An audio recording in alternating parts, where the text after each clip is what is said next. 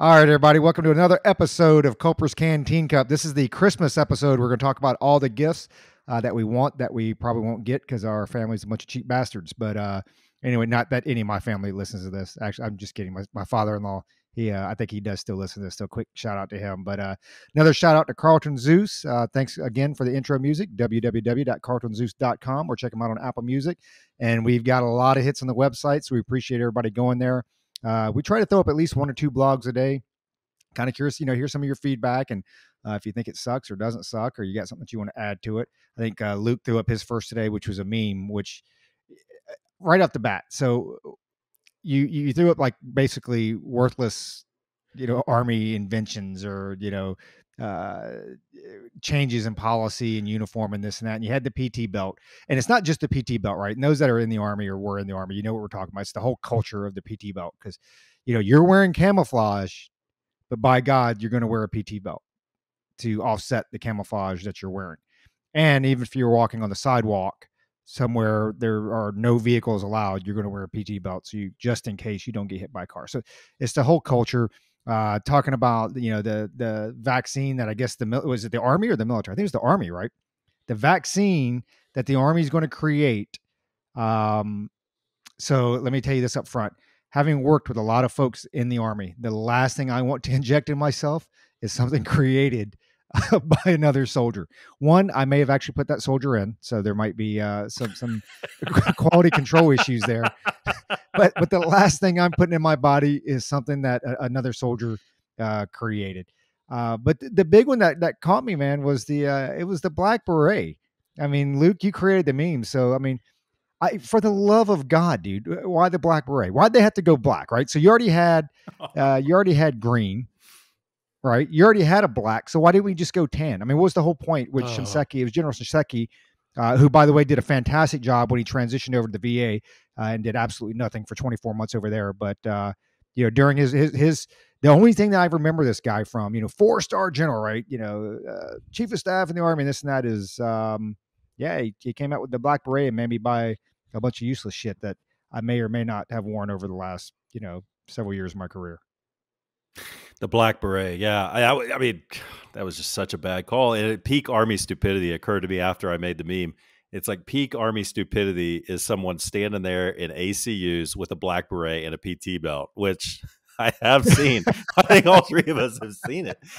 And we're coming out of peak, we're starting to come out of peak army uniform stupidity, and all of a sudden they have a vaccine that's going to defend against all variants. It's like injecting the black beret ACUs and a PT belt into your body. It's just not a good idea. But yeah, I, the black beret is just a bad idea, man. The Rangers were all mad about it because they were black berets, and it would you're right, it would have made much more sense to go with the tan beret because I, I think that looks pretty sharp. Uh, tan beret. Yeah, I mean, you could have at least tied that in with like the whole World War II, you know, like the, like the new uniform now, right? I mean, you could have yeah. used that history, but no, we'll just go ahead and take that unit's history, and uh, you can go get your own.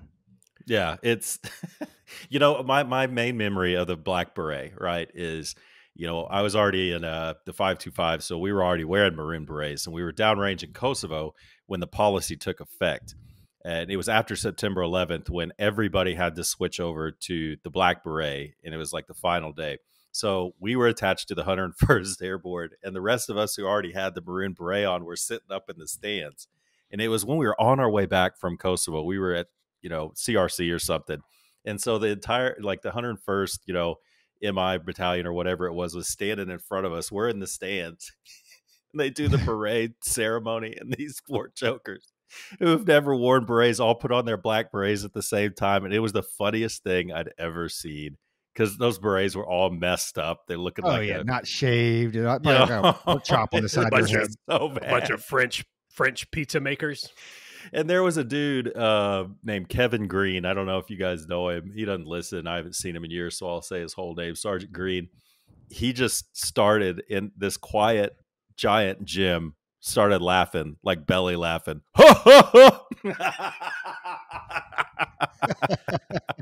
so yeah, it was it was just ridiculous. Bad idea. You know, don't fix it if it ain't broken, Shinseki. That guy was a joke. Um, but yeah, I, I do not want a black beret for Christmas. Roger, what what are you hoping you get for Christmas? What do you know you won't get?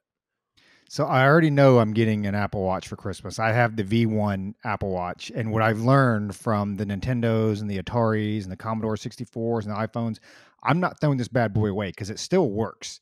So my Apple Watch V1, I'm gonna like put that thing in my little food saver thing, suck all the air out of it, throw it in a in a trunk, and keep it there for you know 10 years and then maybe try to sell it on ebay for like you know a thousand dollars or something like that down the road. So i know i'm getting a new apple watch. Other than that uh you know we pretty much buy especially now my kids are grown man. We buy stuff you know throughout the year as, as we want you know as we want it or whatever. Um so that's the that's the big gift. Other than that i'll probably get some booze and some chocolates. My wife always does the the stuffing you know stocking stuffers because I, I like my little candies. I don't eat them all the time but I, I, like my little Snickers bars and Mike's and Ike's and, and all that other good stuff. But real quick before I throw it back to you, it was actually funny because when you were coming up with this meme, and I was in a bad connection area, so I was just typing this stuff up. So Luke sends out, "Hey, other than ACUs, and you need to go to the website, check out his blog. Uh, other than the ACUs and, and the black beret, give me another bad Army idea or two. There are so many bad Army ideas. So you know, it's like affirmative action, centralized promotion with no feedback, warrant officers, my personal favorite. Should have actually put a picture of Josh up there. Um, PT belts, PT uniforms, the ACFT, the APFT, body fat calculator, and it just becomes like, man, this is just never ending. So then we had to get some context, something that uh, Josh is great at providing uh, to what he needed this for. Then we saw the the meme pop up. So anyway, uh, throw it back to you real quick, Luke. What are you hoping to get for Christmas? Uh, what do you know you're getting? What do you know that you're not getting? And and what do you what did you get? What did you get, Michelle? Just between me, you, Josh, and, and the 14 other listeners. Yeah, she she won't listen uh, before this comes out. Uh, unlike unlike your wife, Roger, where we learned the hard way last year that Roger's wife will actually listen to the podcast. well, she'll listen to the podcast that. when Luke is like, "Hey, you should listen to the podcast because he's gonna." You know. so just that between was... me, you, Josh, and Michelle, would you get her?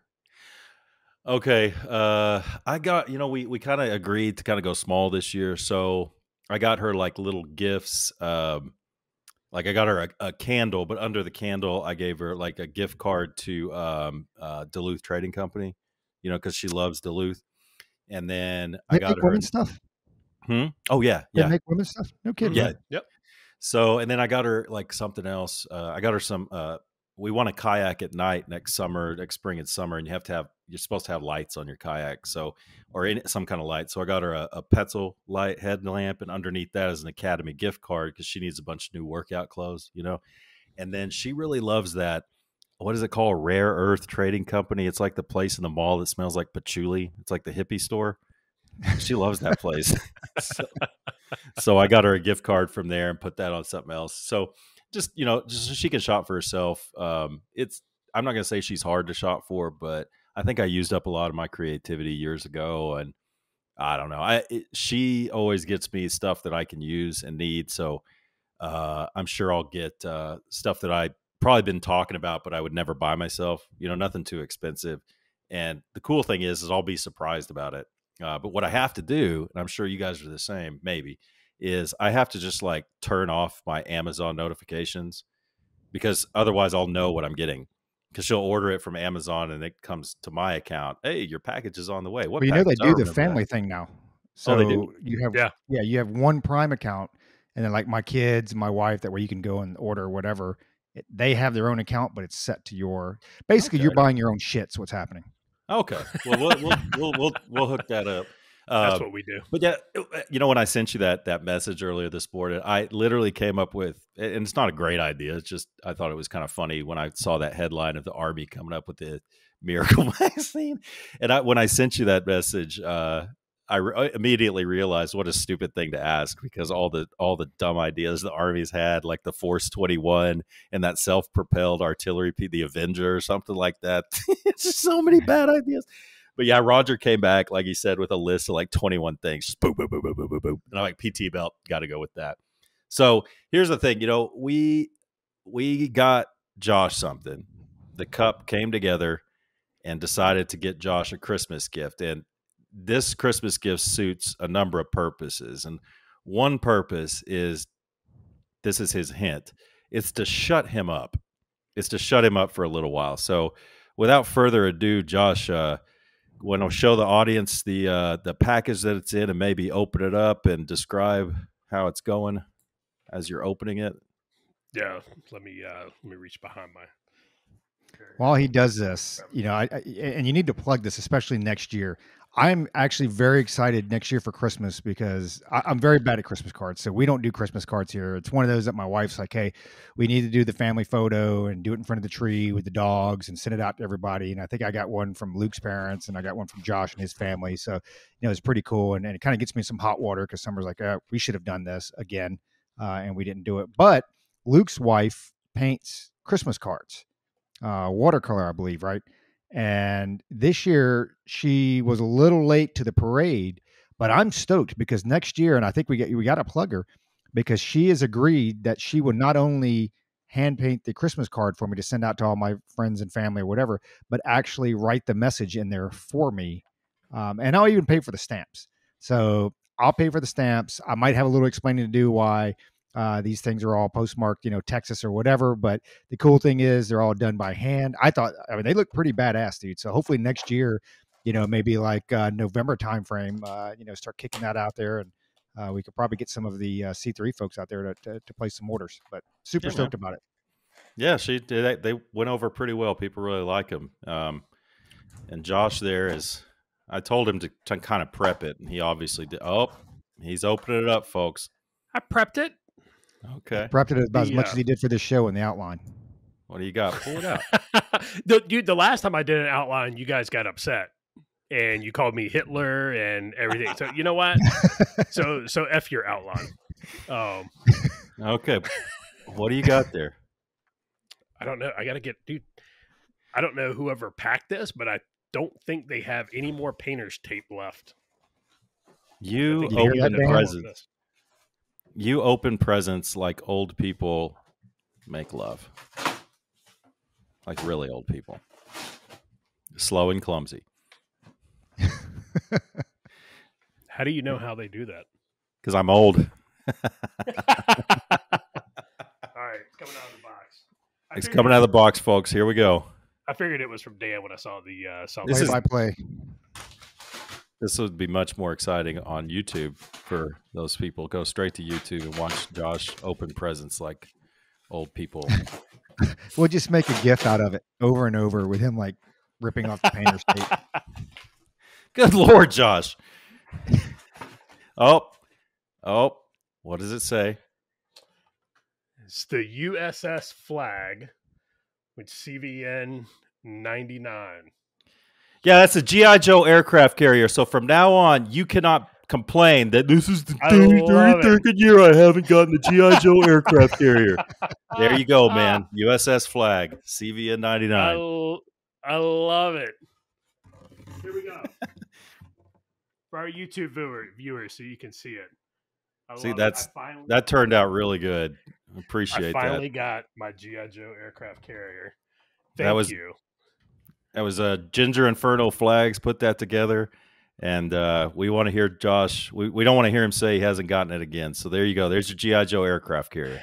I was just getting ready to. Uh, I dude, I had already found that meme and like prepped it because I was gonna. That was gonna be like my first post on uh, on Saturday morning. Now we're gonna Now I put fake can't- news. That's right. No, it's fake news. Thank you. No, I I appreciate that. And- Yeah. Dan over at Ginger Inferno Flags, we plugged him a couple of times, but he did that. And again, I mean, his his work is is is getting pretty daggum solid. I mean, not that it wasn't to begin with, but it's good to watch him grow and get better. Uh, but if you head over to our webpage under the blog, small businesses, we have a link to his Facebook, Instagram. Uh, you know, for the price and, and the quality, I mean, you can't beat it. But fantastic job. That's awesome. No, I appreciate it. Thanks, uh, thanks, thanks, Luke and Roger, and uh, and thanks to uh, to Dan for uh, for doing that. Um, because I know he's busy, you know, watching his social media. He's he's got a lot of new uh, new stuff coming out. Like you said, some of his ideas and you know stuff that he's doing down there is fantastic. So you guys get on the socials and uh, and get over to Ginger Inferno Flags and uh, check them out and uh, and and get some stuff from them. You you definitely will not be disappointed. Um, so, well, I know one thing I got for Christmas. That, uh, the other thing. So, hey, Mike, you know, we're kind of like Roger at this point. It's kind of like you know, I buy some things throughout the year. There, there's certain things that I won't buy for myself because I don't like to spend a lot of money on myself uh, for the most part.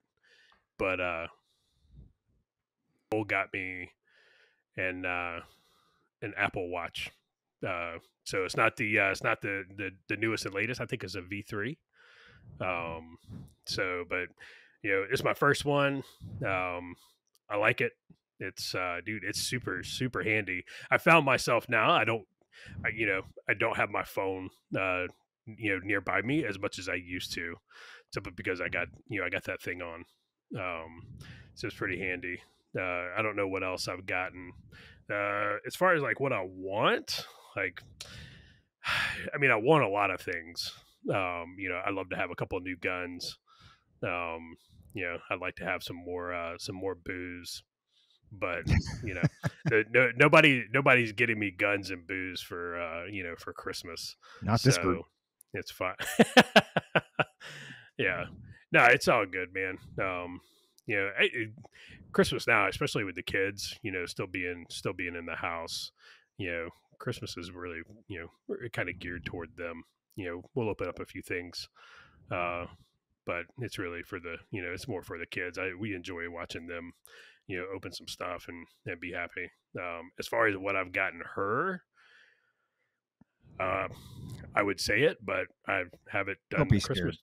I haven't done my scared. Christmas shopping yet. What I'm- are you going to go out and buy her? What are you going to go out and buy her? Go just say it. So tomorrow I'm going out to do Christmas shopping um, for her. I haven't done it yet, dude. I haven't done it. I'm, I, dude, I, I am the absolute worst when it comes to like Christmas shopping. Um, I like, dude, right, that's great. Hey, hey, Jen Psaki. So what are you going to buy her? I'm terrible. Um, and uh, so I'm gonna go over to uh, the spa over at the uh, Pinehurst Resort and uh, get her a spa package over there Um, because Oh, it's there you super, because it's super swanky. Um, and they, uh, you know, they do a good job. Plus, when you go over there for the spa, then you get access to everything else at the resort for the day.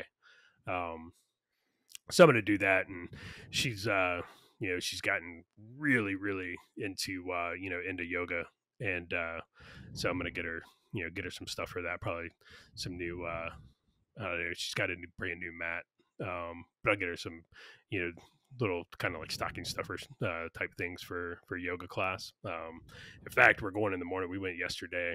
Um, we're going in the morning. Got a seven thirty class, and uh, she got me into it, man. I actually, dude, I love it. Um, Now you're not actually counting that. Well, a couple of things. One, you you you should be having a, a great thing or a great Christmas because you've completed 75 hard, so you'll be able to drink, eat, and all that other stuff. But you're not counting yoga as part of your 45 minutes uh, yeah.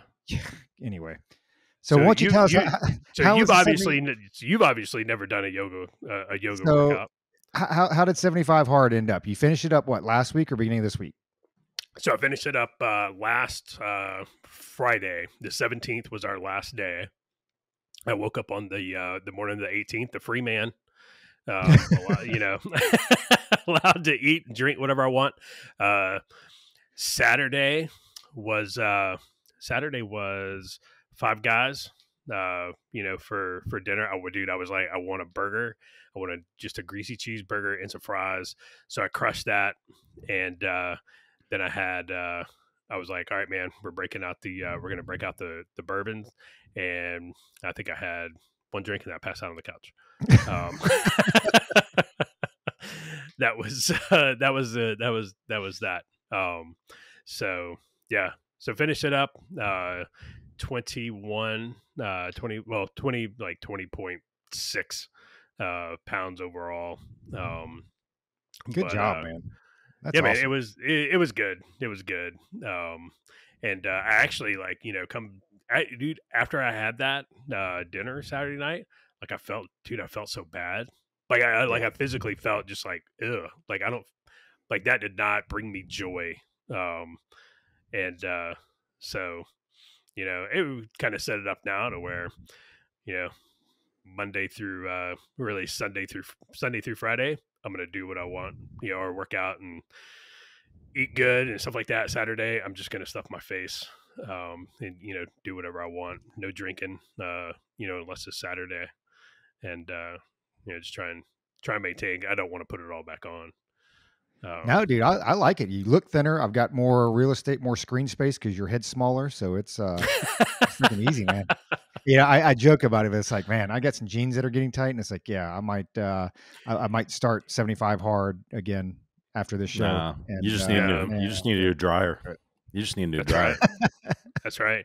No, dude, that was the other part, man. Dude, I got it's like I started trying on some clothes that you know I haven't been able to wear, you know, in a couple months. Well, let's in like a year, and uh and I was like, damn, dude, I fit in these again. Like, like, dude, so that was another part of like Christmas, man. It was Christmas all over again. I got a whole new wardrobe now. Oh, you know. so yeah, so that's uh that's what's going that's what's going on here. So we have had a pretty busy week going into Christmas. I thought it was going to be a lot slower, um, and now that I'm back from our camping trip, so so we went camping, and I think we were going to try to record over the weekend.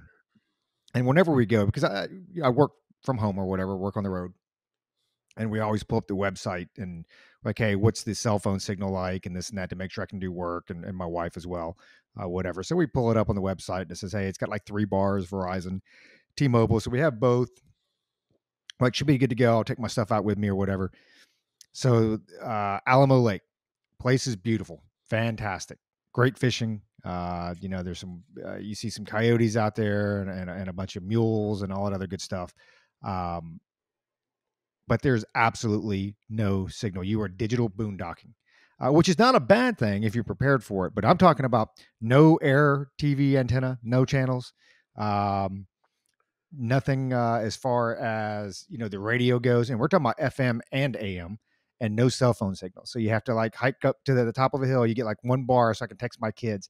And it was a good time and i'm you know eh, we were out there for like four days or whatever but i tell you what man if you're not prepared for that stuff it's hard because i didn't have any you know if, if you're going to do it and you're like okay i know there's no signal i'm going to bring some books uh, i'm going to bring you know some magazines or some things to read. If it wasn't for like the top 200 playlists that i had downloaded on my apple phone uh, it'd have been uh, it'd have been a struggle. But anyway, during that time while I was out there, we got to catch some news a little bit, and I found that that was one of the things I missed the most.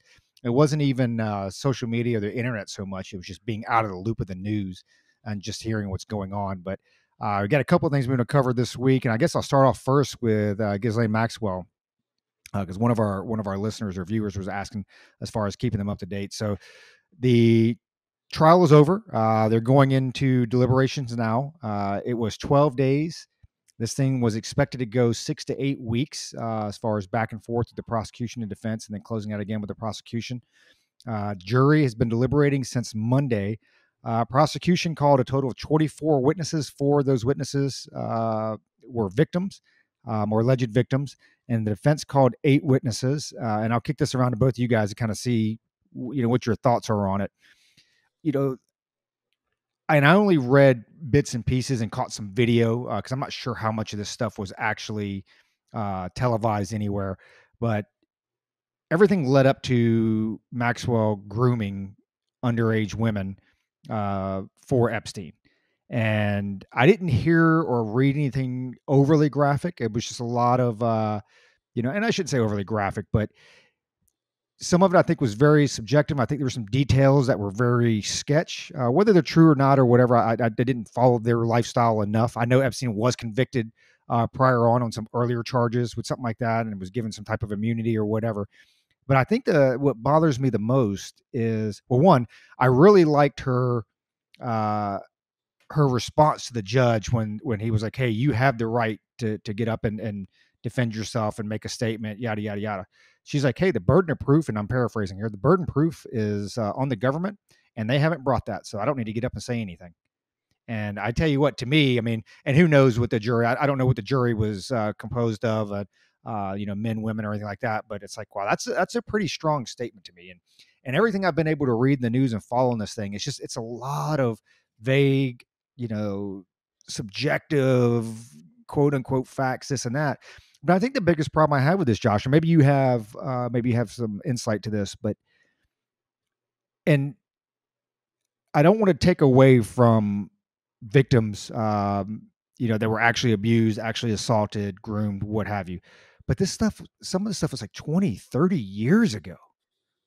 And that's my problem with a lot of this stuff. It's like one lady was interviewed by the FBI. One victim was was interv- interviewed by the FBI. Eh, you know, in the early 2000s or 2007. They're like, "Hey, why didn't you bring this up then?" like, well, it wasn't about you know Epstein or whatever, about something, some other sexual assault. It was like, well, don't you think this would have been like a prime time to kind of bring that up? And and it's not even that they weren't victims, but when you look at twenty or thirty years ago, I mean, dude, I can barely tell you what I ate for breakfast this morning.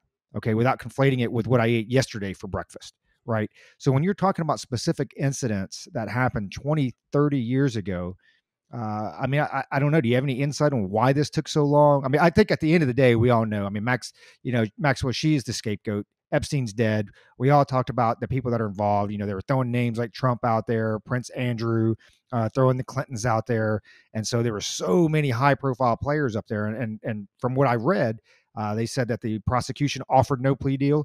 The defense uh, didn't seek any plea deal. So to me, the way I read those tea leaves is like, hey, there's a lot of people that are like, hey, this ain't going any farther. She is the scapegoat. She is Ollie North. She's taking this fall. Uh, if she gets convicted, but I'm not entirely sure she gets convicted. But going back to my my original question, why 20, 30 years? I mean, uh, you know, I know Epstein had some issues early on, but that seems a little, uh, you know, that seems like quite a bit, you know, a long time ago to be bringing that stuff forward and, and expecting some type of, you know, articulate, you know, detail or account of what happened, you know, three decades ago. Yeah, so I followed it as much as I could, and you know, like you, from what I gathered, and you know, a lot of it is hard because it wasn't, you know, obviously it, it wasn't obviously televised, you know, like the like the Rittenhouse trial or anything like that. So, you know, you were only getting what we were getting was already being filtered, you know, once. Um, so it's it's kind of hard to figure out, you know, what's here or there but a lot of the testimony it did it seemed very circumstantial it was you know very much well you know they they they they kind of asked me to do this okay did they directly tell you to do it well no but that's what they yeah that's how i inferred it and stuff like that and it's right. like okay it's like hey man that's fine you know i mean it, you know that is not the burden of proof like you know it's like okay well i can say one thing how you how you interpret that you know, it's something entirely different. Unless I say something like "I'm going to kill you," um, or you know, "Go kill that person," you know, that's I, I, I don't I don't know that she gets convicted. Um, and then you know, like you, when she opted not to take the stand, where you know it's like, okay, hey, the burdens of proof on the prosecution today. I don't, I, I'm going to just stay quiet. I don't need to say anything. Um, man, I, I don't I don't know that she's going to get convicted based off of that. Um, and especially, like you said, the information is from, you know, 20, 30 years ago. And, you know, at that point, you, you know, everybody, everybody wants to, you know, discredit the witness. You know, the other side always wants to discredit the witness like that. It's like 20, 30 years ago. Dude, I could not tell you what went on 20, 30 years ago, you know, in every single situation that I've you know that I've been in. i'm like, dude, I don't know. Like 20, 30 years ago, it's like, are there pictures? Is there video? Like, cause I don't, dude, I don't remember that. I'm like you, man. Two weeks ago, I couldn't tell you what I had for lunch. Um, so the, and I think you're, I think you're spot on, dude. The the names that were coming out, especially when the pilot, right? So if you remember when the pilot testified and the pilot logs, when the pilot logs came back they were so heavily redacted that they couldn't tell. There were some flights that the only person's name that showed up was the pilot. All the other names on that flight at that time were redacted. My question is why are the names redacted? Is it a matter of national security? Are those people underage? Are they minors? No? Then why are their names redacted? Are you, you know worried about redacted? well, I know why. I know why they're redacted, right? Are you worried about a defamation lawsuit? No. And that was, I think, that was the you know the entire thing. The, the well, the one thing that I wanted out of this trial were names. I wanted names. I wanted names of everybody who visited, you know, Epstein Island, visited his place in Florida, you know, visited his place in New York. Like I wanted names, and especially if they were elected officials, oh hell no I want the names but we're never going to get that um, and you know the black helicopters will tell you that they intentionally kind of you know the defense kind of intentionally threw through the game here um you know so she doesn't get convicted to keep her quiet. They uh, it was hey we have to go through this or you know you have to do it um at this point but don't worry you're gonna go you know you're gonna walk at the end of this um as long as as long as you keep names out of it because if it came down to it and it was like oh you're not even gonna offer me a plea deal okay, fine. Like I dude, this if I'm going down, like I am burning the entire thing down with me. And I'd be like, yeah, put me on the stand. And dude, I just get up there and start naming names. Be like, where were you on the evening? Be like, Bill Clinton. You know, like, dude, I would just start naming names. Um, every question to be like, how are you doing today? I'd be like, Ernie Finkelstein.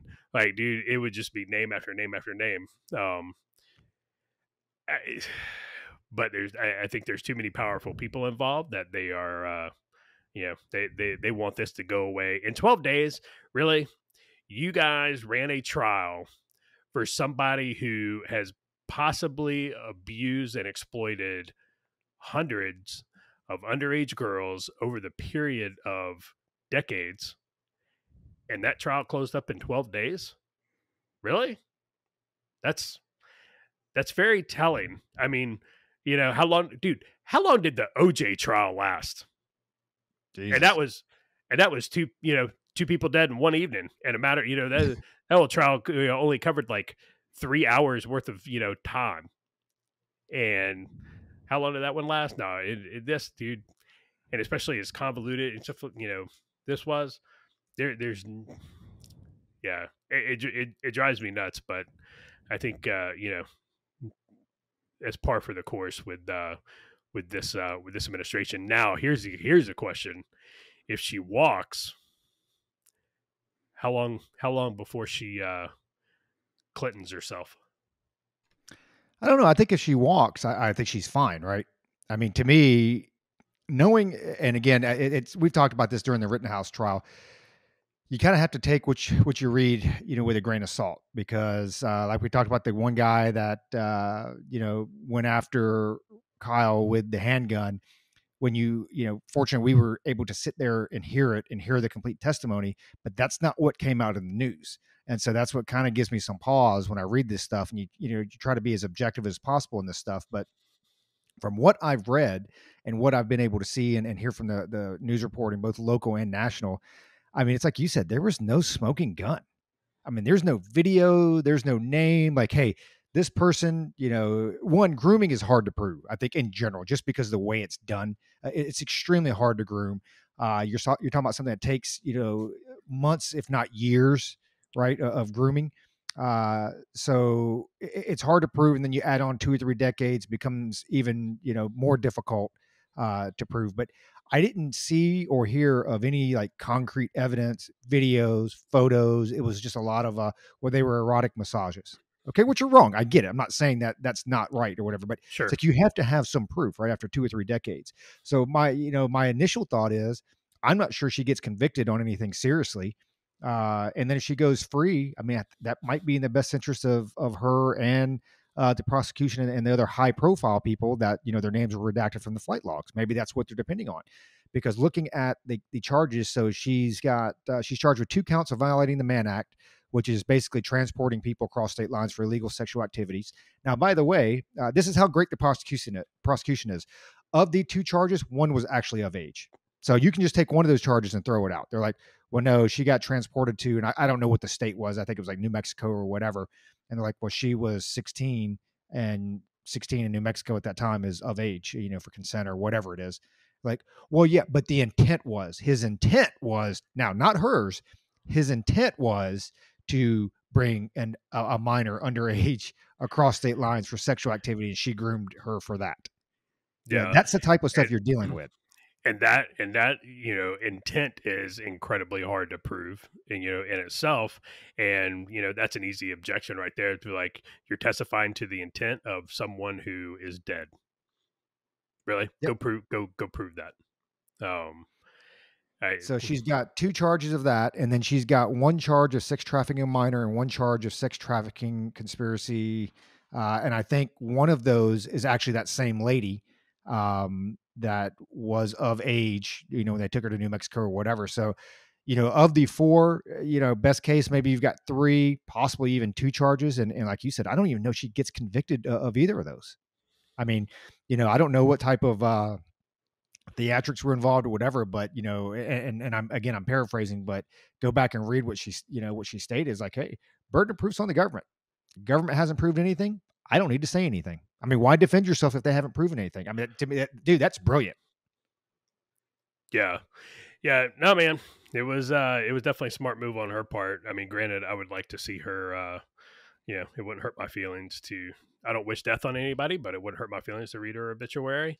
Uh, but before that happens, like I, dude, I want the like I want names. Like I want to know who.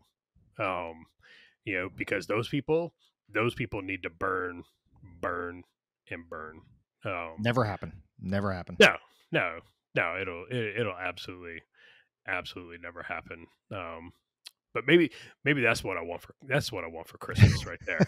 you know, I want names and I want those uh, I want those people to uh, be held accountable. Now, what if she's um, found guilty and goes to prison? And I did run through this scenario in my head. She's found guilty, goes to prison because I think she faces up to like seventy years in jail or whatever, which is it's a life sentence for her. So let's say she gets yeah. the full gamut, right? She's convicted, goes to prison. Uh, maybe then some names come out, and then you just roll the dice. Hey, I'm going to throw some names out there uh, for reduced sentence, maybe time served. And uh, I just hope that I don't get suicided by you know any of these folks, uh, aka the Clintons, uh, while I'm out on the streets. You know, I don't know how much money she has left, and I think she was probably paid millions for if I remember what I read. But I don't know if she just tries to disappear, go off the grid. But I think the only way that you that we hear any names from her uh, will be after the fact. And I'm not even sure what they can do after the fact. If They're like, okay, you've been convicted. We can reduce your sentence now if you provide, you know, whatever names. But at the same time, I you know I think those people are so high high profiled. It's like we mentioned, the prosecution didn't even offer a plea deal because they don't want it. They don't want it. They just hey, you need to be convicted or found innocent or whatever the case is, and this needs to be done and over with. This needs to just move on. Yeah. Well, that right there, I mean, the fact that the prosecution, you know, didn't offer a plea deal, um, you know, that right there tells you all you need to know about hey man they just want this thing or they are being pressured to make this thing just go away but just go away like the plea deal but there's no for the you know for them to take a look at and be like okay well you know give us the names you know the other folks you know and we're not saying you'll have immunity right you can have a plea deal without having immunity um but you know will you know you'll be tried for a lesser charge or whatever um but you do that like it was nothing. It wasn't even it wasn't even that, which tells me they have no intent on no intention on pursuing this. You know, past her, like you said, she is she is the Ollie North. They're going to be like, you know what? If she get if she gets convicted, um, they're going to be like, all right, yep, justice, sir, we got him. You know, hey man, the the you know the Epstein uh, saga is uh, is over and done with, never to be you know spoken of again. You know, never mind the fact that there's a whole lot of people out there that uh, you know have gotten away with it. Um, so, I'm waiting for the book. Waiting for the book. Oh yeah, I she uh, you know it's funny and it, it's it's another thing we you know we, we were talking earlier you know we we've done it on multiple episodes talking about the media right and how just what garbage our media is um and I don't know if you saw the post from the Atlantic uh, that came out, and you know, it, it, it basically, uh, and I'm paraphrasing here, it was like, you know, is there really a you know a child sex trafficking problem? You know, is yeah. is, is that really an issue? When a couple of years ago, you know, they talked about, uh, be like, hey, there's you know, there's a child sex exploitation, you know, uh, crisis in you know, not only in the United States but around the globe, and lo and behold, they put that you know second article out this is you know post epstein they put you know it's like well is it really a problem and then i forget her name but the founder of the atlantic is photographed hanging out poolside with of all people Ghislaine Maxwell. You know, and you're like, oh, okay, that's what that's why we're doing it now. Yep, now it makes man, now it makes perfect sense. Um, but that's dude, you got these, these these people, these prominent individuals in you know influential positions, man, and uh, it goes back to I think it was uh, Luke that was saying, you know, talking about uh, Josh Duggar who got convicted, you know, and it comes down to it's like, dude, what drives people to that? Like, absolutely, like what drives people to that? And uh, I think Luke had a pretty, you know, a, a pretty good uh, re- you know, reasoning for it. It was like the, you know people who are have the money, um, you know, who have generational wealth, not you know, not wealth you can you know, not like you know you can lose over a long summer in a drug habit, but like generational wealth. um, you know, it's like they can buy anything. They there's nothing. They have no they have no wants because they can just go do it, and they have to do something that you know is so taboo. Um, you know, to uh, you know, to get that rush or do whatever. Uh, because everything else, we're like, hey man, you want to go on a you know, a 180 day John around the world? Be like, yeah, we'll do it. All right, let's go. You know, there's not there's just nothing that they can't can't buy. Um, and you know, so it comes down to like a thrill for them, which boggles my mind. But yeah, I guess you got that kind of money, you can get away with anything, right? So there, you know, every day is Christmas for you. So it's like, hey, what's like you said, it's what's going to give me the next high. And a lot That's of times right. it's the illegal activity because it, it is illegal. So on to the next thing. So yesterday I heard, uh, and I'm not sure if you got a chance to listen to all of Biden's speech. Did you? Did you get a chance to hear Biden's speech in, in Psaki before that? no, So he basically came out, and it was funny. One, it's just creepy, man. When he gets that whisper, you got to do it. You got to Yeah. do it. It's like, why? Why? Who are you whispering at? Like, why are you whispering to me? You're on national TV in front of a mic. But long story short, he comes out and he, and he talks about, um, you know, all the things they're doing to combat, you know, Omicron and and COVID and this and that. And a couple of things I took away from this, and then I'll get your thoughts on it. But one, everything he listed that they're doing, it, it was nothing new. It's stuff that we've already been doing. Uh, what he did highlight, and and it wasn't intentional, was and I think he even answered a question on this, but they didn't stockpile any of this stuff for like the vaccines, the testing sites, none of that stuff, right? We are too, and here here's my problem. This goes on to the to, to the broader point of uh, the broader mo of his of his administration, in my opinion. He's reactive. They are reactive to everything, you know. And and when they when he was asked about, well, you know, why didn't we see this coming and this and that? He's like, nobody could have seen this coming. It just happened overnight. I'm like, dude, I think we've all pretty much called this. I think all of our listeners knew this. I mean, it's like, hey, we don't have to be, you know, virologists or scientists or anything to say, hey, there's going to be new variants. Uh, some are going to be extremely contagious. You're going to sit there and pump out, hey, everybody needs to go get tested before you meet up with your family and friends this holiday. But oh, by the way, there aren't enough tests out there. Uh, some of these places in New York, they're talking about people waiting in line like seven or eight hours, which I would never do. You know, more power to them.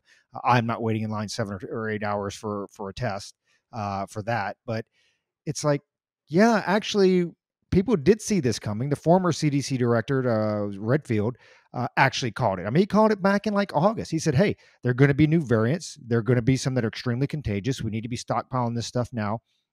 But a couple other things I took from this before I go back to his reactiveness is everything is about the vaccine and testing. So vaccines are out there. Uh, testing is out there, but not necessarily available uh, for everybody. And again, there are a lot of folks that um, aren't available or aren't able to get the testing because of the wait times. And depending on where you're at, they're just they're just out of stock. Uh, I know out here in our area, our neck of the woods, I think Mesa had some. Our library's giving out some tests for at home. Mesa had some, and they were out in the first two hours. But basically, his only option is vaccine vaccines. It's to get vaccinated. Period. And it makes you wonder. It's like, hey, how come you're not talking about the monoclonal antibody treatments? That I think I heard the number today. They've only ordered like uh, it's some small number. It was like five million of those things. Uh, the Pfizer pills, like fifty thousand of those that are that have been proven effective, right? Uh, not that I want to take the pill or not, but again, these are these are other courses of action outside the vaccine um, and, and, and other therapeutics. I mean, we were light years ahead of where we were a year ago or two years ago just because of other therapeutics. But it's like the only option is to get vaccinated.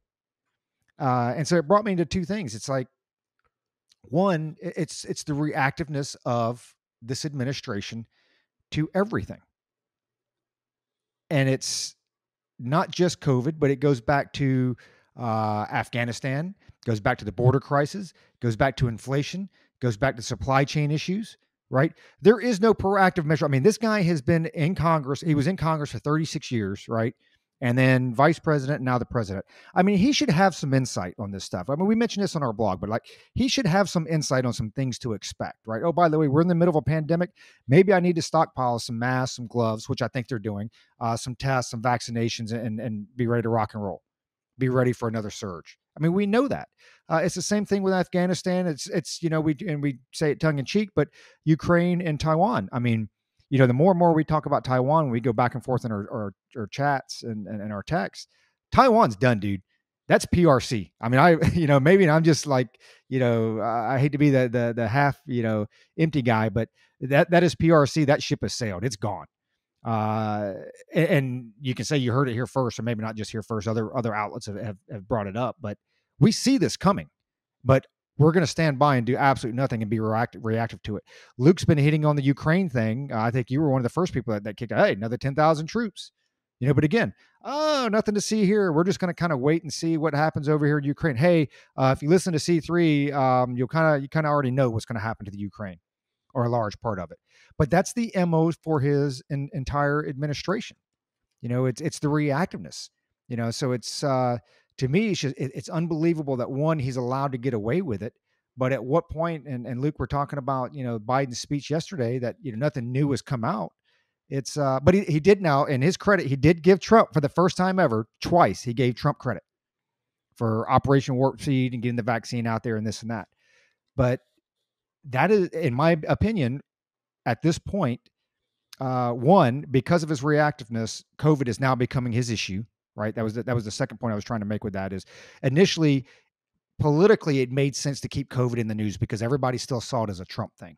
Well, now we've had more deaths after vaccinations, and, and dude, it pisses me off because I told you guys this. I'm not a black helicopter guy. I was all on board with it's a vaccine, it's a vaccine, it's a vaccine. Dude, I'm telling you, we've got we we said it last episode. It is no longer a vaccine. Okay. Luke called it, you know, months ago, gene therapy, preemptive therapeutic, uh, you know, whatever you want to call it. Yeah. He's like, ah, yeah, but it, it, just kills me. I lose my train of thought because it just makes me uh, uh, so angry. This thing, but I want to kick it to you real quick, Luke. Uh, just some of your thoughts on his speech and as far as him taking ownership of COVID, because now it's no longer seen as just a Trump issue. More people have died under his administration than they did under Trump after being vaccinated or after the vaccine has come out. And now I think they're in danger where you say, hey, it's not the let's talk about COVID because everything else sucks in my administration. It's becoming we can't even talk about COVID anymore because I think the latest polls I saw uh, had like 65% uh, percent of the people disapproved of the way he's handling COVID. It's a, it's a they're in a pickle, man, because uh, COVID's big numbers, right? For the media, for the media, it's big numbers. Uh, but like you said, the Biden administration is going to want to going to have to start downplaying it, and I think they may want to, but that's bad numbers for the media. They're going to have to jump onto something else, and there's, I mean, not other than Ukraine, there's really not much they can jump onto right now. So, uh, yeah, it's they're they're in a big pickle, and uh, you said that about me calling it, and you know, I had to eat some crow a while back uh, because I said early on, ain't going to be no vaccine. They ain't going to be no vaccine. I said that early on. Said they can't do it. It's not going to work that quick. And then they came out with the quote unquote vaccine and our favorite listener, Bonnie. See, Luke, you're wrong about everything. You said there wouldn't be a vaccine. And I ate a little crow and I said, yeah, you're right. But, it, you know, I, you're right. I did say that, but I wasn't expecting mRNA technology. Well, now, fast forward, it's not a vaccine like you said it's it's gene therapy man it's uh it's a therapeutic uh so yeah i was right so f you bonnie you know, that's the only time I'm it's the only time I'm mistaken is when I thought I was wrong about something. That's I'm actually mistaken. We were actually right. But you know, to be honest with you, I did not really uh, uh, I didn't listen to the speech. Number one, uh, what I was trying to do was get some reflections on the speech. I knew about when it was going to happen. I was driving around all over creation yesterday. I was trying to get some reflections on the news. Okay, what was said, and I think I saw one thing: Biden going to tackle this with more tests. And I'm like, well, okay. And I we actually had to uh, HIPAA here. HIPAA, HIPAA, everyone, HIPAA alert. we actually had to go out and buy a few COVID tests today for some uh, close acquaintances, and we went to a CVS, and the moron at the CVS counters counters like, "We don't have any tests. We've sold out." And the guy I was with was like, "Well, do you know anywhere else in town that has them?" No, no. Lubbock is completely sold out of COVID tests. I was like, "Yeah, I'm not going to believe the uh, CVS worker." Uh, all due respect, we went to across the street to Walgreens. They had tests, you know, floor to ceiling, about thirty dollars each.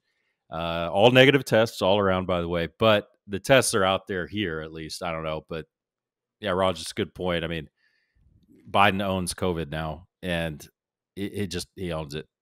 Um, he's going to try to boost his way out of it, but the WHO says you can't boost your way out of this.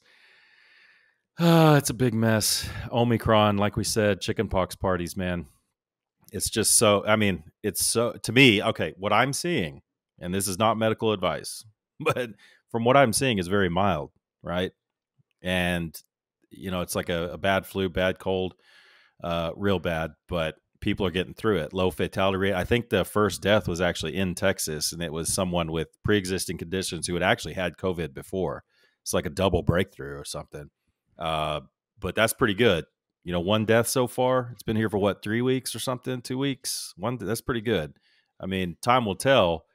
But if it really is that mild, I'm talking chickenpox parties, man. Let's let's you know that that signals the virus is on its way out, and we've been saying that again. Like we, we sound like a broken record. We've been saying that for a long time.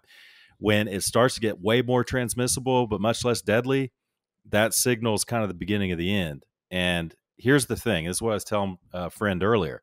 It's like if we do the wrong thing right now, which is lock down, everybody locks down, and you know 14 more days to slow the spread turn into three months and we close things down and things that's the absolute worst thing we could do right now because that signals to the virus time to get more deadly.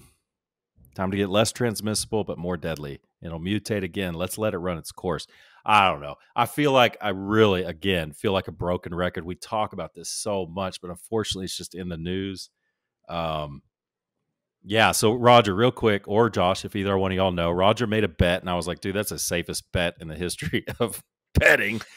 He goes, bet that as soon as Biden is done with his speech, he's off to uh, Delaware for a week or two. Do, do y'all know if he actually did that?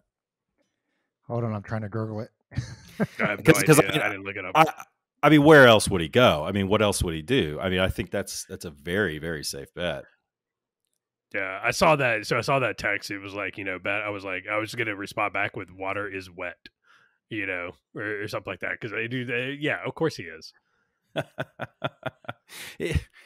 uh, you know, I I don't know. Go ahead, Roger. Well, and it's crazy because uh, South Africa now, where it was first reported, is now six weeks into this, and by all accounts, they are on the backward slope of this. They're on the downward slope, right? They're on the back end of it. It's clearing up and listening to Joe's speech yesterday, we're going to ramp out all this stuff. And, and of course, they won't be available till after January. Hey, the first reported case was the first week of December for us.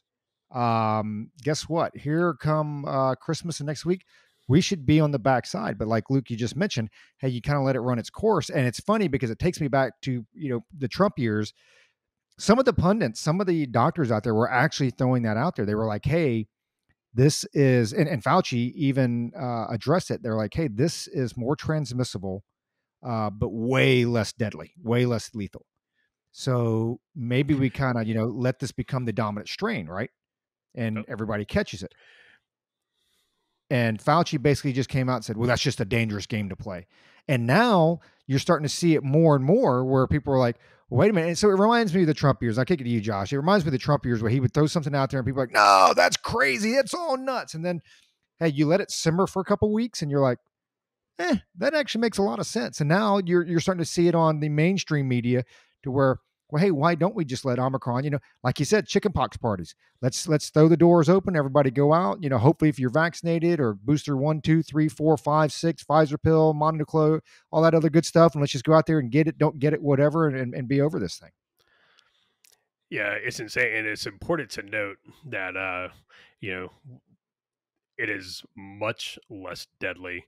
Uh, so you notice how when you know when COVID first started, and uh, especially you know in Italy, uh, you know all you heard was the death count, right? Have X you know X number of people died today uh, from uh, from COVID, and then after it made its way to the states, it was like people die, people die, people dying.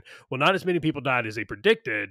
So then it turned into well, this many new cases, right? And that's what we, you know, people started basing protocols on. It was number of cases, number of cases, and Delta showed up, and you know, some few more people died, and it was like, oh, they they they started to count death rates again real quick, but then they realized that it wasn't going to be nearly as bad as they thought it was, so they went back to counting cases. You know what they're counting with with Omicron? they're counting cases. You know why? Because it's less mild. You know, it's like the doctor in South Africa who first, you know, sounded yep. the alarm about it, came out and was like, "Hey, man, super transmissible, not even remotely close to, uh, you know, to to being a, a deadly strain." Um, you know, and we we've harped on it and we've harped on it and we've harped on it. Um, and dude, I am so sick of people who are obviously who are visually clearly not healthy and i'm talking about out of shape because they eat at bojangles 15 times a week virtue signaling that they can't believe that people are unvaccinated and how people aren't wearing masks and they don't care they're and they are they are the ones that are going to overwhelm the hospitals let me clue you people in on something heart disease, number one killer, kills 650,000 Americans a year. And guess what? You don't care about overwhelming a hospital with your bow box and your extra bow sauce. You don't care about overwhelming a hospital by using a Krispy Kreme donut as your hamburger bun. You don't care about that. But that does a virtue signal right? Because when you you know when you tell people you know when you when you question somebody's eating habits and stuff then you you know then that that's mean and that's you know microaggressions and people got to go to their safe space and and this that and the other. It's it's complete bullshit. And dude, these people they, they're the worst. They're absolutely the worst. It's like you got you, man remember when we were in uh remember where you're the debt? And you ever go to the uh did you guys ever run over to the gnc inside the px yeah. Yeah. I went in there yeah so you know and always go to the gnc to you know grab some NO-Xplode you know because uh because that was the thing because everybody's desk looked like a science experiment and you know grab some NO-Xplode and some and some protein powder or some creatine and one of the people that worked in there it was like well have you are do you have your maltese? Have you are you do you have this? Are you taking this and you're looking at him it's like do you know where a gym is? Like have you ever exercised a day in your life? Because dude it was i mean like bad man like bad. And it was like okay you know maybe maybe you have a a medical condition that you know makes you like that that's okay I, you know i get that i understand that but if i was gnc man i was like i probably wouldn't want that person working you know the storefront um because I'm probably they're probably not going to sell me a whole lot of stuff. Um, you know, unless you do but, like the reverse advertising. Hey, if you don't take this, you'll look like this. yeah. Right? yeah, dude, it's the same thing. It's the same thing in Vegas. You know, you talk about cognitive like dissonance, like walking through Vegas, the casino. Where they're yelling at you. So they get the security guard at the elevator. So as soon as you step off that elevator, you got to put the mask on because to save your life, right? And then what happens when you walk into a Vegas casino?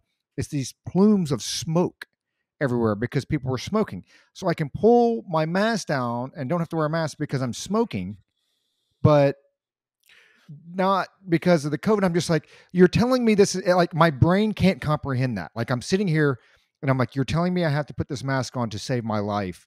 And then there are, you know, eh, the fog of war is in front of me. It's so thick with cigarette smoke with people not wearing their masks uh, because they're it's, allowed to smoke. It doesn't make sense it's not about it's not about health. It's not about health. It's oh, about control.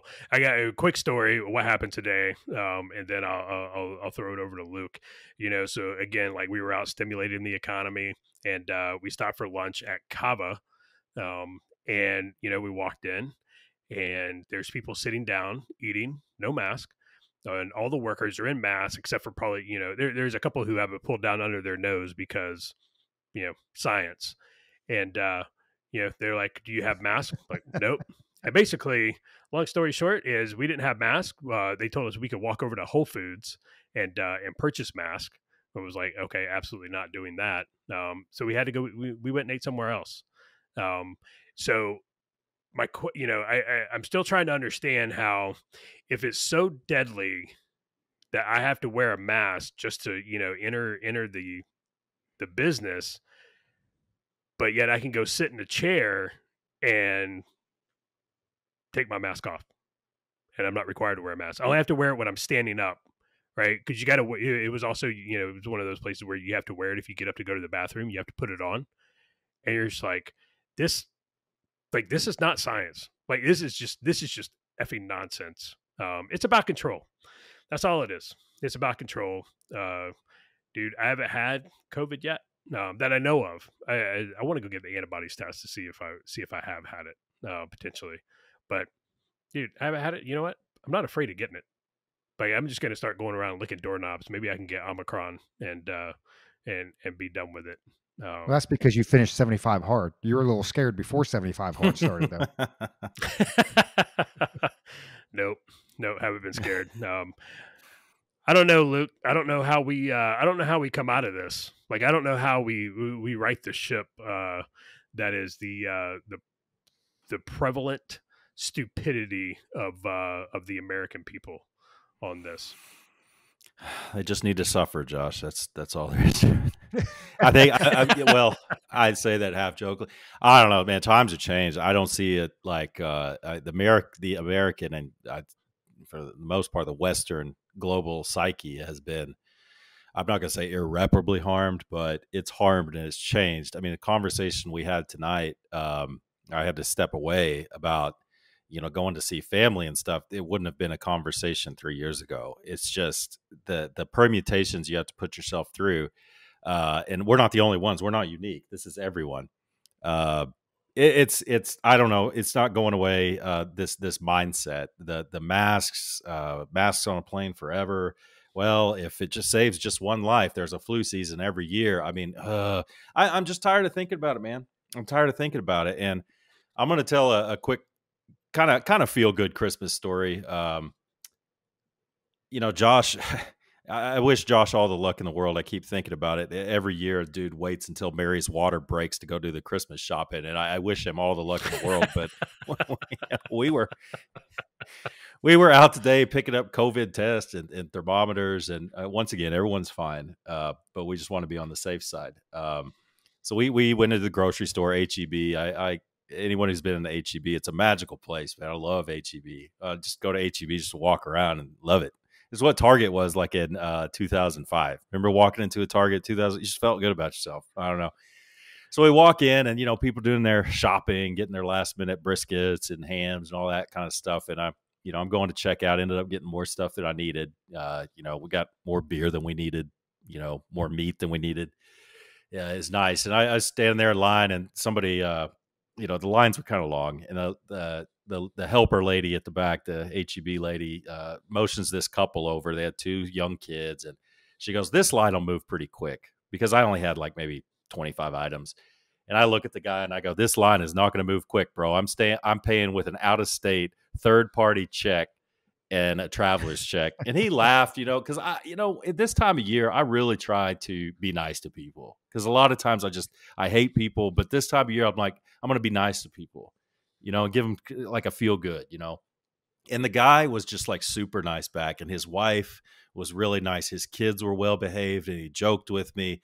And this dude had like the cauliflower ears from hell, and he was in he's a, a, shorter guy, but really good shape. Obviously, an MMA guy. You know, he's a little bit older, maybe 29, 30. And uh, he was just a really nice guy. And his wife was very polite. And like I said, his kids were super well behaved. So I, uh, I introduced. I said, "What gym do you work out at?" And he said, "Oh, I work out at all of them." You know, and he he knew the names of all the gyms. I was like, eh, "This guy's just a great guy." You know, I like seeing people like this.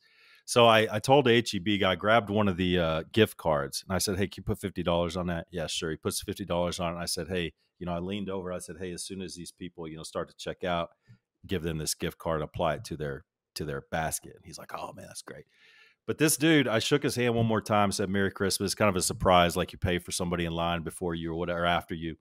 And uh, this guy's name is Derek Campos, and he goes, I said, he goes, I'm Derek. I said, I'm Luke. Maybe, you know, in 2022, I'll finally get off my ass and go roll around at some of the gyms. He goes, Well, my name's Derek Campos. He goes, You know, I said, Well, I knew you were a fighter. And he goes, Yeah, look me up. You know, he wasn't bragging. He's got, just look me up. It's like, okay, cool. So I go out in the parking lot, I type in Derek Campos. This guy is a former Bellator featherweight champion. Holy smokes. And super nice guy you know, fights at 145, but dude was walking around at 165 and dude was cut. He looked good. and but man, I was just like, man, that dude would roll you up. But he was so nice, you know. A guy like that has every reason in the world to be a jerk and be cocky. Uh, but he was he was nice. I hope they have a Merry Christmas. So shout out to uh, Derek Campos. Um, Shout out to What's Elaine that? and John. What's that? Derek, are, are, you are you are you challenging him to a to no, a little fight there? No, no, no, no, no. Dude, sponsored by let, let let's C three let's C three promote this thing here. Yeah. Hey, we could get him on the show. How about that? Hey, look, he lives dude, in Lubbock. I, I, got it right here. You called him a big pussy in the comments. I oh. will actually screenshot that and put it up on our blog uh, for all of our viewers out there. That's so I, will tell you what, I'm going to give him a shout out. Maybe we'll try to get Derek Campos on the show, and he can tell us what it's like to be a professional MMA fighter. And uh, shout out to Elaine and John. I don't know if John listens every week, but Elaine listens every week, and I have not given her a shout out. So thanks, Elaine. Uh, I'm gonna uh, kick it to Roger, and then maybe, and then somebody wants to give a final shout out right before we close out. Sounds good. Hey, the uh, the last thing I kind of wanted to bring up the the other topic that Dude, I love it because we actually see eye to eye, or we saw eye to eye with the squad for one minute. So everybody remembers you got two big bills, right? You've got the infrastructure bill, and then you got the Build Back Better bill. So you got the the BBB, and remember the squad and the progressive left were hijacking uh, the vote because they wanted to immediately vote uh, on the BBB. And they sat there and they, oh, look, look at this. We're going to have a special guest here. But they, the squad was actually hijacking the, the vote uh, for the infrastructure bill because they wanted to do both at the same time. And the Democratic leadership uh, came out and said, no, no, no, no, we're good. We'll just do it one at a time. We promise, we promise we'll vote on BBB as soon as we get the infrastructure bill done. And, you know, the squad went back and forth for, it, was at least a week or two, if not longer, Josh, that they were like, uh, nope, nope, we don't trust you. You guys are a bunch of liars. You're to, you're just to let us vote on this one. You're to push the other one off. And they're like, no, no, we, we promise, you know, Schumer and Pelosi, we promise, we promise we're to vote on both. And what happens? They, so they say, okay, okay. They, they vote on the infrastructure bill. It passes uh, BBB is getting ready to come up, and guess what happens? they don't vote on it. they got yeah. screwed, and you know what? They knew they got screwed. And before I kick it to you, it's everybody wants to blame it on Manchin, right? And they say, "Oh, it's just one, you know, the one guy. He's not a Democrat, and this and that, and and, and you know, look at how they're going after him. But it's like, no, you're failing to see the broader picture where it's not one Democrat. It was also 50 other Republican senators, uh, what we also call the majority, right? So you had 51 senators vote against it or opt not to vote uh, on the BBB. But dude, did we call that not? They they were yeah. they were for for one minute there, one minute, the squad in C three were on par. Like we both like you were going to get screwed on this, and they saw it. They knew they were going to get screwed. Yeah, no, that that that was actually that was that was pretty funny. Uh, cause they you know, like you said, they they knew it was going to happen. They uh they were hoping that you know at the last minute or something, Manchin was or one of the Republicans really was going to uh you know jump ship, but. It, it, yeah, you know they're like, oh, it was you know one Democrat, and everybody's you know it's got the the pitchforks and torches out for Joe Manchin. It was like, no, it was a majority. Like that's how it works. Uh, you know, that's that's how the that's how the Senate works. Um, that's kind of you know it, it's baked in uh, by this thing called the Constitution. And uh, hey, man, you know sometimes you win, sometimes you lose. It was great to uh, to see the Build Back Better bill go down uh, because it was bad. It's bad for the United States. It's bad for America. Um, and they keep you know now there's people like I mean there are people actively stalking Joe Manchin now. And uh, yeah, you know it's like hey man, it's like you know you you already have him you know, as probably one of the most moderate Dems in the uh, in in uh, in Congress writ large. Um, and it's like you, you want to keep pushing him, you know, to the point where he's either going to a come out as an independent, or b he's going to come out and just be like, fine. I'm a Republican. Um, I'm switching parties, and then you've lost that, you know, you've lost that seat because in West Virginia likes him. You know, I was looking at some of the polls and stuff like that. Dude, Oh, a lot of people in West Virginia approve of how he's, you know, how he's legislating uh, because he is, you know, he's not. A lot of you know, a lot of elected officials are, you know, well, this is what the party's doing. It's not about the party; it's about your constituents. You know, that you are there representing your constituents. You're not there representing the you know the Republican Party or the Democratic Party. You're there representing your constituents, and that's your job. That's what you're elected to do. Um, that's you know kind of supposed to be how this thing works.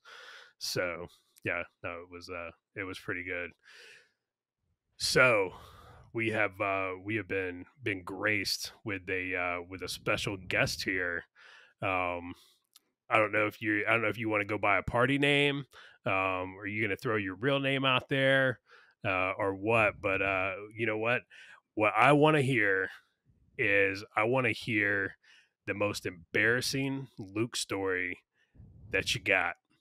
That's not going to get you, you know, that's not going to get you like written out of a will or, you know, voted off the island or, you know, get all your Christmas presents thrown into the fire.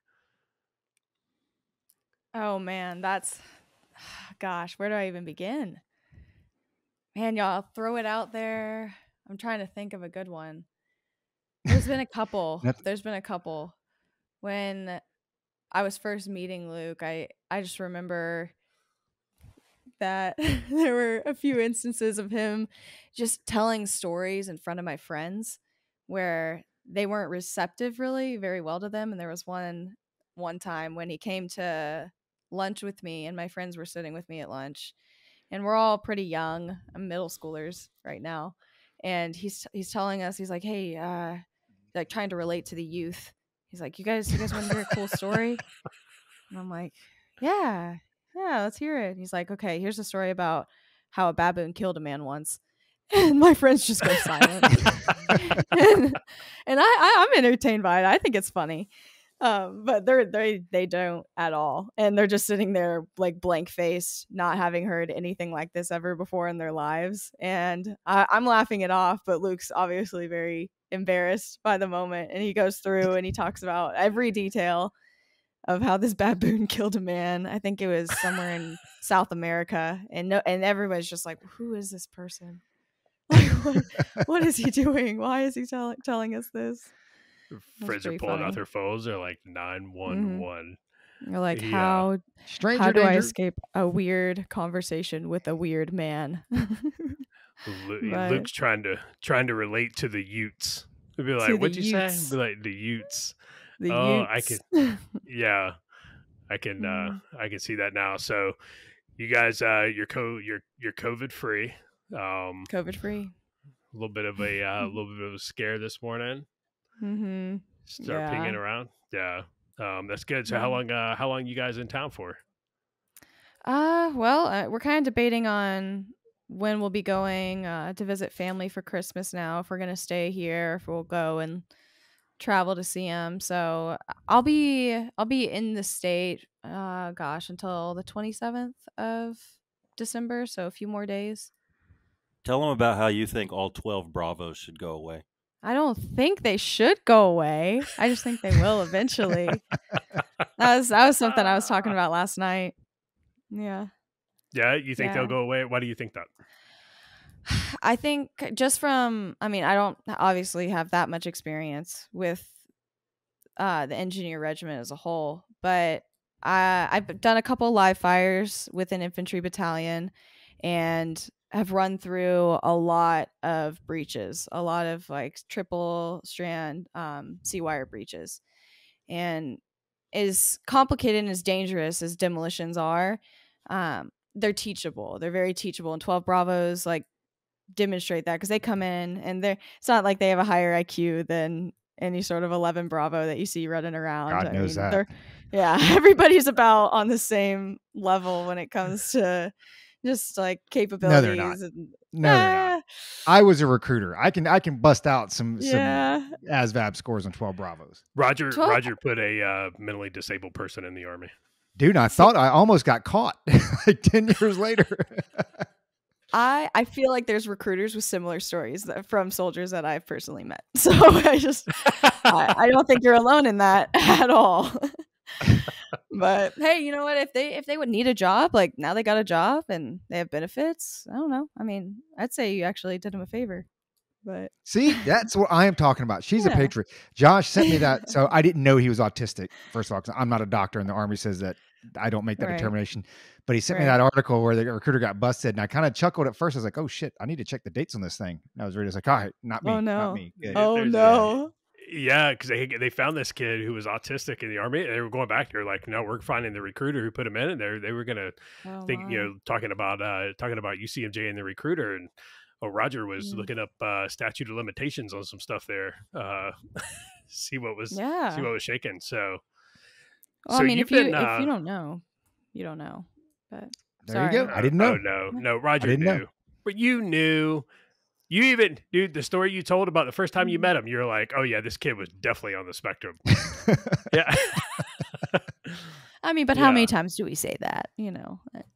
yeah. No, that's, that's a good Yeah. point. Good point. Um, so you've been up, uh, you've been up there for what a year and a half now. Yeah. Two years Yeah. now? Well, I've been now I've been in the army for about a year and a half, but I've been at my duty station for about a year now. Oh, A little over a year. Yeah. So you get, you still got a little more, a little more time before they look to, uh, look to move Mm. you. Oh so yeah. what's, so what's next? We, uh, we doing sapper school. We doing ranger school. Uh, what are Hundred we, what are we Yeah. doing? Sapper is my next short term goal that I'm gonna start working towards once I get back from NTC. So start the train up. It's hard to start training for Sapper school before you go to NTC because usually you just end up losing all of the traction that you gained. So yeah, that's that's the next thing. That's the next thing on the list for sure. Yeah. Hey, if you go back and you listen to our episode with, uh, we had a minute from Mo that turned into a, a freaking marathon. Mhm. He graduated Sapper School. So if he can graduate Sapper School, well, I'll just cut it off and leave it right there. But Mo graduated Sapper School. So you, you, you, you should be all right. Okay, was- there it is. Mo, Mo was the autistic child that uh, Roger put in the army. nice. Hey, they're highly you. intelligent though. So I love, I love you, Mo. The, I uh, know we're just bagging on 12 Bravos and we're just joking. But I got a question for you. So, what's the, and I know when I was young in the military, especially as a private coming up and, and this and that, uh, I, I couldn't read so well. So I, I never made it to the O ranks. Um, but coming up being, uh, you know, young adult, at that time wasn't really into a whole lot of politics with the administration and this and that. And, I don't want to get too personal as far as your personal thoughts and this and that. I, I got you're still on duty, active duty, but from what you see and what you perceive, I mean, are the soldiers, both enlisted, warrant officers, uh, commission officers, uh, are they that in tune with what's going on right now in the government as far as the, the new administration, or is it pretty much, you know, hey man, you know, you're in the army, so like you said, you're focused on NTC. So like all I give a shit about is NTC. I've got things I got trained up for this and that. You're off to tra- you know sapper school. What, what's the overall involvement, I guess, of of the soldiers that that you work with?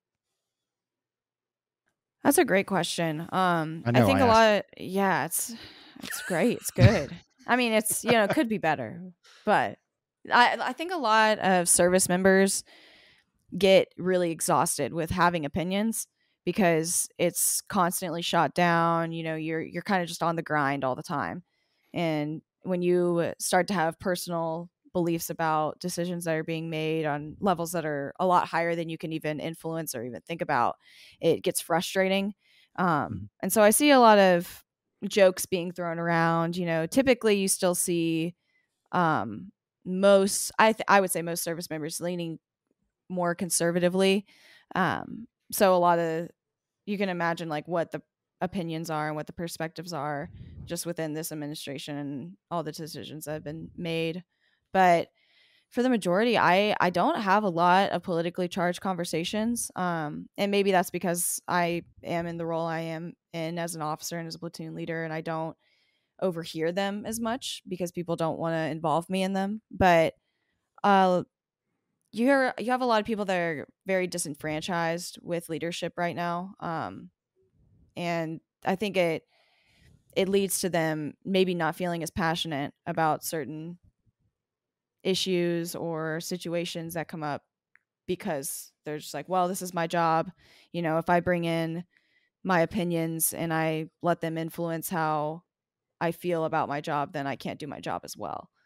So I don't know if that answers your questions very well, but No, absolutely, absolutely, Yeah. and, and well said. And it's always because old old folks like us, you know, it's we remember what the army was like, and then now we've been removed for several years, so you kind of wonder if it's still the same way, or you know, as a new generation comes, you know, goes forward. Uh, one last question I want to ask you is. Uh, being a female in a because we do have female listeners out there. Uh, my daughter, like I said, she's on a roll. I think she's on episode two now. Um, so being a female in a male dominated MOS, uh, you know, because back in the day there were no females in that that uh, those type of units. Uh, do you find that challenging? Do you see it's more? I guess do you see are there any as far as your interactions and, and you being an officer, commission officer, and the orders that you give? Uh, do you find that the respect and the discipline is more based on your merit, or do you do you feel any friction because well you're a female in a male dominated unit? I mean, what's your what is your perception of that? I, I would say the respect is about the same. So you walk in as a second lieutenant, you're a second lieutenant, you're a butter bar, you don't know anything, you know, and you kind of ha- you have to earn it just like anybody else.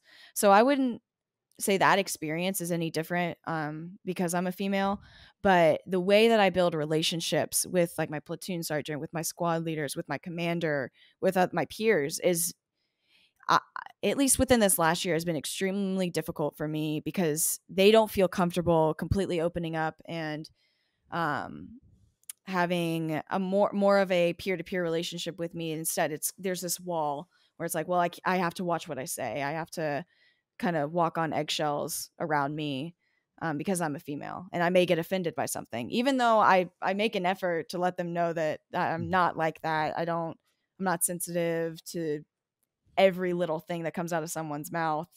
Um, but that's been probably the most difficult thing that I didn't really expect is the just the dynamics of the relationships, like personal and professional within the workplace has proved itself but to yeah.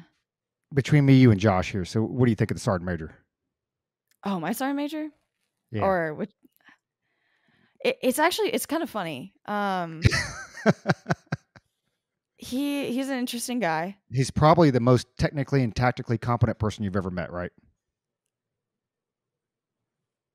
I'll take your silence as a He's yes. very, very technically competent. He, so he he you came don't have from to a, answer that. Yeah, he came from a November world, which is the world of construction, and he's in a uh, like a brigade engineer battalion underneath a BCT. So his experience with the engineers has been vastly different from the way that we train and what we do as sappers and as combat engineers. So that that definitely shows, and I think that's something that's unique, maybe to engineers. But um, yeah, it's every sergeant major I've met has been honestly very different from each other.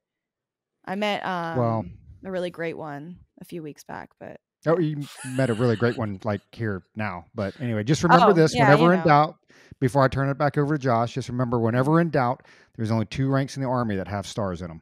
One's a sergeant major. With that being said, Josh, and neither one of those ranks are worth really anything um, that that have stars in them. To uh, to be honest, so my question is, how are the warrants that you've met and are interacted with? How Okay, how has been those? she's never interacted with a warrant, first of all, because they, they're probably not around. Hey, look, man. hey, you know what? Chief Chief shows up when Chief is needed, and when Chief's not needed, Chief ain't there because NCOs are the backbone, or they lead the way, or something like that. I don't know. So, what's been your experience with uh, with the warrants? warrants honestly have been I it's they've been ones that I've leaned on um like pretty consistently as far as maintenance goes and then construction goes. We have two really great warrants.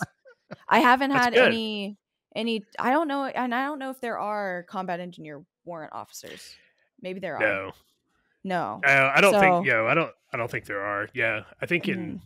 in an engineer, yeah, you're you're gonna find them. You know, in the motor pool, the maintenance uh, warrants, Mm-hmm. and uh, you know some of the construction stuff. Yeah, you, combat engineers don't have a, a warrant field. Any of them uh, Yeah. fall over when you were leaning on them? Just curious. Uh you know, sometimes they'd push me down. So they, Ah, they wouldn't really Hey. fall over, but I'd end up Hey, on Roger. my face. Roger, it's okay, man. It's okay. You just need to admit that sergeant major is one. It's a useless rank. Um, they're they're j- sergeant majors. eh, No, I'm serious. Like the sergeant major role is generally useless because in the big army, when you go to combat, guess who doesn't have a role when you when you deploy? Your sergeant major. Warrant officers. No, warrant. But I don't know. Every deployment I've been on Hey, as a warrant officer, I got the guidon, dude. I don't know what the hell you're doing out there. I got the guidon. All right. because because you're because you're your guidon. I will say though, I do believe that the role of the sergeant major uh, or sergeant's major, as you get up to brigade and division, I mean, I don't know why they exist. I actually do see a, a role at the battalion level. Uh, I'm not sure, like when you get to brigade and division and corps, like I'm not sure the role of the sergeant major up at that level. So, I don't. Mm. I, I don't know what the role of the the battalion sergeant major is, other than making sure people don't walk on the I, grass. I don't know what the role of a. CW two, three, four, five is either. So, this is what it is. Well, yeah. Other than I think I think the, a sergeant major is kind of like a morale mascot. If I had to, Just call me a mascot. All right, look here, I Lieutenant. love it. in the best way possible, in the Look. and I mean that just so sincerely. I uh yeah no that was best. You know what that that was probably the best thing that's been said on uh, the cup since uh, we started this thing, right there.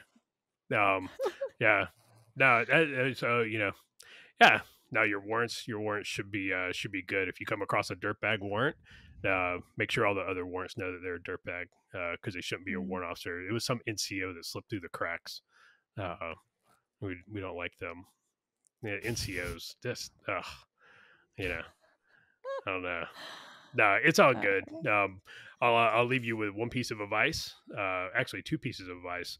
First, don't worry about your report card. Uh, take care of your folks and get your job done. The report card will take care of itself after that. And uh, if at first you don't succeed, do it the way Chief told you to to begin with. Very Whatever. Whatever. anyway, it was a pleasure finally getting you on here. I know we've been talking about it for a year, but it's always very sensitive because you have active duty members and you know you're not necessarily at liberty one way or another to come out and express your you know all your personal thoughts and opinions. So we definitely appreciate you coming out here. Uh, thank you for serving. I know a lot of people say it lightheartedly, and you know it becomes the uh, you know it's like Merry Christmas. What do you do you really mean Merry Christmas? Like, well, no, we actually you know thank you for serving because especially at your age and For sure. when you look at what the political climate is and and and then the social climate out there it's uh you know i can tell you as a recruiter it it it becomes or as a former recruiter uh more and more difficult to find young men and women that are one qualified but uh but then truly motivated to to come in because it is a you know a lot of people don't realize the sacrifices that all service members uh, make, uh, whether they do four years, they do you know 14 or, or 24 years, but there is a time period there where, which you're realizing now that your life is not yours. Uh, so you know we definitely thank you for your service and, and you know best wishes for everything you do, and above all, uh, you know definitely stay uh, stay safe out there. All right, uh, we'd like to definitely have you back on, and we're not just talking about combat; we're talking about from COVID. So make sure you get the Army's vaccine when that E4 Mhm. that specialist med guy over at the TMC, uh, who probably created or gal created that vaccine. Don't forget to be uh, first in line there and you know lead the way. Oh, oh, I, oh, I got, I got one last thing. I got one last thing. Have you, to this point, made made Luke put on one of his old uniforms and locked his heels? No, not yet. He told me because I, I was gonna ask him to be my first salute, and he's like, I don't salute anyone below major. so I'm not I'm not gonna test that. I'm not gonna test that. We'll He- wait. I'll wait. he didn't want years. your- We'll see. He didn't. He didn't want your silver coin. Did you give? Did you give the it- first person a silver coin? It didn't end up actually happening because uh, COVID kind of canceled the at least the formal part of the commissioning ceremony that I had. I did it over Zoom and raised my Oh, right man. hand to a camera screen, so that was nice. Oh, God. Oh, Yeah. by the way, yeah, I'm glad. Uh, we almost forgot that glass that you bought him, the C3 glass. That was super, yeah. super cool. Yes. Yeah. You know it, what? You noticed that it wasn't just a C; it was C3, right? Oh, There, Yeah, there's I three can't- of us. I have sometimes I have trouble counting that high. So Did, I, I'm You sure are- Luke you forgot to give you. You are a lieutenant. Yeah, yeah, I am he forgot to give you our addresses. That's fine. Uh, I'll Yeah. text him my address, so you know. perfect. Christmas yeah, thank right around the you. corner. Absolutely. So, with that being said, thanks for coming on, Josh. You got any last words before you close this thing out? Nope. Merry Christmas. Oh, all righty, folks. We want to wish everybody out there a Merry Christmas, uh, Happy Hanukkah, all that other good stuff. Enjoy your time off. Be safe. Uh, you know, definitely head over to the website, uh, culperscanteencup.com. And thanks again to Carlton Zeus for the intro music, www.carltonzeus.com or on Apple Music. So, canteeners, stay safe and keep your canteen cups tightly secured.